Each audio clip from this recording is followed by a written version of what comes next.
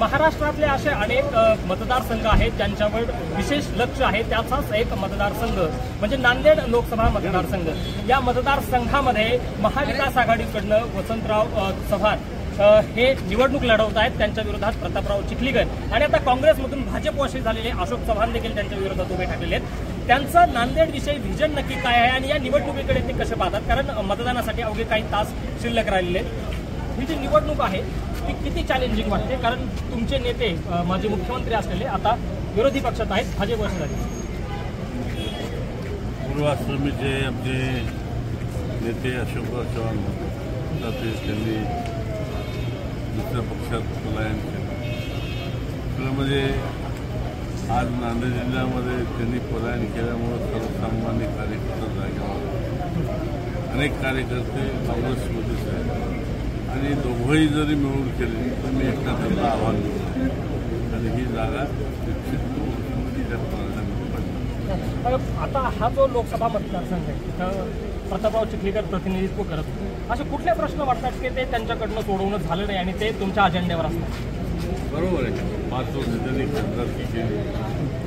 या नांदेड शहराच्या दृष्टीने औद्योगिकदृष्ट्या आपला एक कारखाना साजरा त्यांनी या नांदेड केला आज नांदेड शहराची अवस्था बघली तर दैनीय रस्त्याची पावसामध्ये सर्व ड्रेनेज आणि मूळ त्या जिल्ह्यातला लेणी प्रकल्प आहे जवळपास पंधरा वर्षापूर्वी तोही प्रश्न असे अनेक प्रश्न या शहरामध्ये आहेत. बेरोजगारीचा मोठा प्रश्न आहे. ज्यावेळेस आम्ही मतदारसंघात करतो बेरोजगारीचा मोठा प्रश्न खासदाराचं प्रामुख्याने काम असतं की मोठे प्रोजेक्ट असतात ते मतदारसंघात जिल्ह्यात घेऊन यावेत आणि रोजगाराचा प्रश्न सोडवा. त्यावर नक्की काय तुम्ही करणार आहात का? किंवा काही खासदारांनी या मागण्या केल्या मागच्या खासदारांनी या जिल्ह्यामध्ये कुठला रोजगारीच्या दृष्टीने प्रोजेक्ट आणला नाही.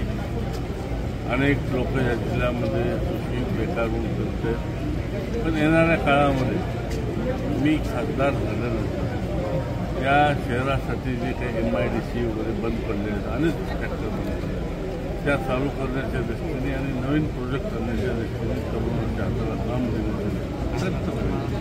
अ, नक्कीच अशोक चव्हाण ज्यावेळेस सभा करतात सभेमध्ये बोलतात त्यावेळेस ते तुम्हाला सरळ म्हणतात की काही नाव नायगावची ग्रामपंचायत नाही किंवा आता नगरपंचायत झाली ती नगरपंचायत नाही आहे खासदाराला इंग्रजी बोलता यायला पाहिजे हिंदी बोलता यायला पाहिजे. काय वाटतं? आता पूर्वीच्या खासदाराला किती हिंदी बोलले किती इंग्रजी बोलले. या देशाची हिंदी भाषा सर्व मान्य आहे म्हणजे तर आम्ही बोलूच राष्ट्रभाषा अनेक लोक या जिल्ह्यामध्ये कृषी बेकार होऊन फिरते पण येणाऱ्या काळामध्ये मी खासदार झाल्यानंतर या शहरासाठी जे काही एम आय डी सी वगैरे बंद पडले आहेत अनेक फॅक्टर बंद पडले त्या चालू करण्याच्या दृष्टीने आणि नवीन प्रोजेक्ट करण्याच्या दृष्टीने तरुणांच्या हाताला काम देण्याचे प्रयत्न नक्कीच अशोक चव्हाण ज्यावेळेस सभा करतात सभेमध्ये बोलतात त्यावेळेस ते तुम्हाला सरळ म्हणतात की काही नाव नाही नाव की ग्रामपंचायत नाही किंवा आता नगरपंचायत झाली ती नगरपंचायत नाही आहे. खासदाराला इंग्रजी बोलता यायला पाहिजे हिंदी बोलता यायला पाहिजे. काय वाटतं? आता पूर्वीच्या खासदाराला किती हिंदी बोलले किती इंग्रजी बोलले या देशाची हिंदी भाषा सर्व सर्वमान्य आहे. म्हणजे तर आम्ही बोलूच राष्ट्रीय आणि त्यांनी खरं म्हणजे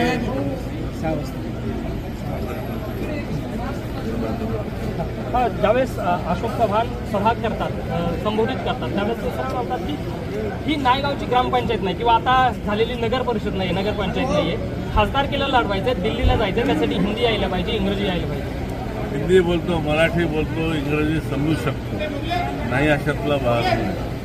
पण ही लढाई आम्ही कुठल्याही परिस्थितीमध्ये जिंकणार आणि प्रताप पाटील राहू द्या का अशोकराव राहू द्या.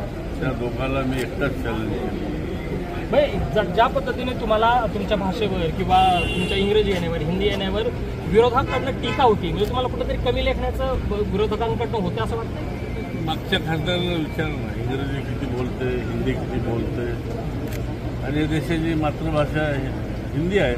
त्याच्यामुळे हिंदी येणं गरजेचं आहे. बरं बरं भाषा येणं हा कुठं प्रचाराचा मुद्दा असू शकतो? अजिबात नाही. भाषा आल्या पाहिजे. म्हणजे पूर्ण देशामध्ये जी भाषा चालते ती माणसाला आली पाहिजे आणि अ, चव्हाण साहेब इथं प्रतापरावांसाठी पंतप्रधान नरेंद्र मोदी येतात सभा घेतात प्रचार करतात. तुमच्यासाठी शिरस्थानाचा आलेलं कोणी दिसत नाही.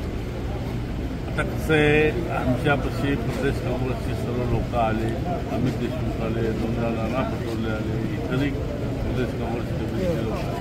आता त्यांची परिस्थिती वरल्याचा आधार घेतल्याशिवाय त्यांना हे निवडणुकीला समोर जाता मग अमित शहा येऊ द्या का पंतप्रधान येऊ द्या देवेंद्र फडणवीस येऊ द्या का गडकरी येऊ द्या हे महाराष्ट्राचे पूर्ण नेते देशातले बडे नेते आज या ठिकाणी येऊन एक प्रकारचं मी त्यांना आव्हान उभा केलं. म्हणून त्यांना इथे यावं लागतं दोन लाख मतांनी विजय होतील असं म्हणतात उद्या निवडणुकीमध्ये लोक कोण विजयी होणार? मी विजयी होणार? त्यांनी काही बोलू द्या. लोक आज जनता माझ्या बनणार म्हणजे आता निकाल लागल्यावर कळलं किती? किती मतांनी? मी तर सांगेल ना आम्ही दोन लाखांनी निवडून तुम्ही दोन निवडून बिलकुल. महाविकास आघाडीमध्ये आता अशोक चव्हाण गेल्याच्यानंतर सगळं आलबेल आहे असं वाटतंय का? कारण त्यांच्यासोबत काँग्रेसचे आमदार आहेत का? कारण काही पदाधिकारी असे जे तुमच्या मंचावर दिसतात त्यांच्याही मंचावर दिसतात. आता त्यांच्यासोबत कोण आमदार गेले? तुम्हीच सांगा ना. एक तरी आमदार गेला का? जनता पक्षच्या पार्टीमध्ये आज मोहनांना अंबड आहेत. माधवराव जळगावकर आहेत. माजी आमदार हनुमंतरावजी बेटमूर मी सुद्धा एक माजी आमदार म्हणून या निवडणुकीला उभं टाकला अनेक कार्यकर्ते. आमचे बी आर काका आहेत ईश्वरराव भोशीकर आहेत. अशी मान्यवर मंडळी ही जुनी आमच्या काँग्रेसच्या पाठीशी आहेत. म्हणजे अशोक चव्हाण त्यांनी पक्ष सोडल्याच्या नंतर काँग्रेसला कुठेही धक्का लागलेला नाहीये. विशेषतः नांदेडमध्ये कारण नांदेड हा त्यांचा बालेकिल्ला समजला अजिबात धक्का लागला नाही. उलट काँग्रेस पक्षाला बळकटी मिळाली असं मी सांगेन. अनेक काँग्रेस पक्षाचे कार्यकर्ते हे गेल्यामुळं त्यांना वावच नव्हतं ना. अशोकराव असताना काँग्रेसमध्ये दुसऱ्या सर्वसामान्य कार्यकर्त्याला वाव नव्हता. आज ते गेले जनता पक्षात. आज सर्वसामान्य कार्यकर्ता खुला मन मोकळेपणानं आज पक्षाचं काम करू शकतो अशोक चव्हाण गेल्यामुळे काँग्रेसला नांदेडमध्ये नवी ऊर्जा वेळ आली असं म्हणायचं बिलकुल. नवी ऊर्जा अशोकराव चव्हाण गेल्यामुळं सर्व तरुण वर्ग आज जोमानं कामाला म्हणजे आता तुम्ही जो विजयाचा विश्वास व्यक्त करताय तो अशोक चव्हाण यांच्या जाण्यामुळे. बिलकुल झाल्यामुळं ते आहे आणि लोकांची साथ आहे ना.